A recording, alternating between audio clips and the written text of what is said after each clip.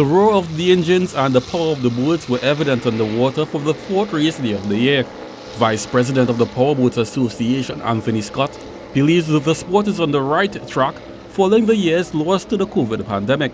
It's been picking up a lot, especially as we came out of COVID. A lot of people did, did work on their boats over the years, and then they have some that sat down. So as the season has progressed, more boats have come out.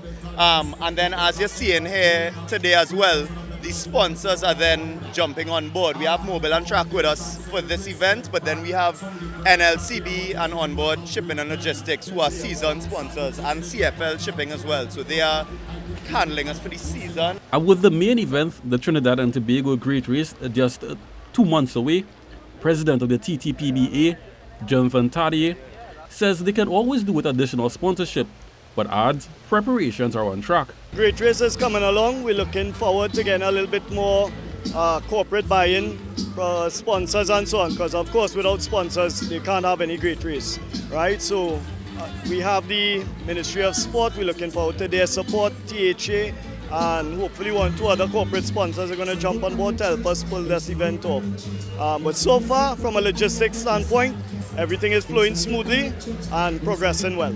And what are your thoughts on the powerboat season to date? This season has been shaping up to be a very nice one. Uh, boats are coming out and we have a lot of big stuff planned. The final regatta is going to be back here at Castors Cove on the 15th of July, which is going to be a Saturday, and we're looking to have a nice little grand finale.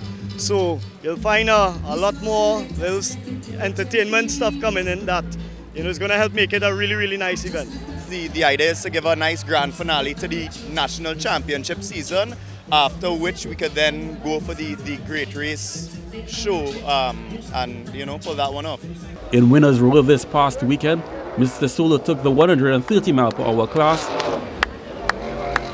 Iron Man the 120 mile per hour class, Outlaw the 80 mile per hour class, Extreme Measures the 70 mile per hour class, Trident to the 60 mile per hour class, Arrow the S class, and Remedy the 50 mile per hour class. Kent Fuentes, TTT Sports.